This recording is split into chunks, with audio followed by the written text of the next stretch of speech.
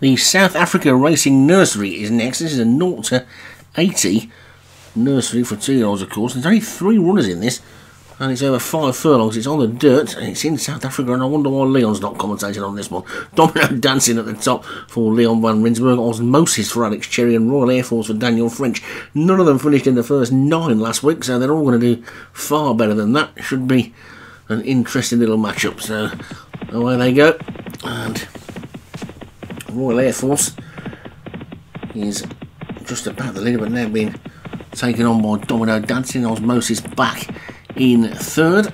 And you wouldn't have expected it, would you, to see a low grade race like this? One of the lowest grade flat race of the week, and Leon's got one in it. How did that happen? Anyway, Domino Dancing's in the lead, with Royal Air Force in second and Osmosis third. There's obviously not that many two-year-olds that want to run over five furlongs who are still maidens at the moment, but Domino Dancing is clear.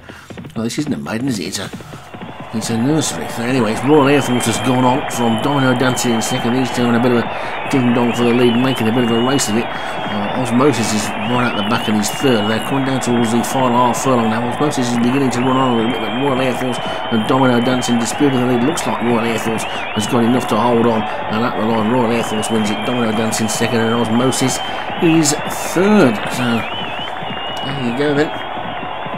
Three runner, five furlongs, two year old nursery. It's a win for Royal Air Force, Daniel French, Domino Dancing, Leon Van Rensburg second, Osmosis for Alex Cherry was third.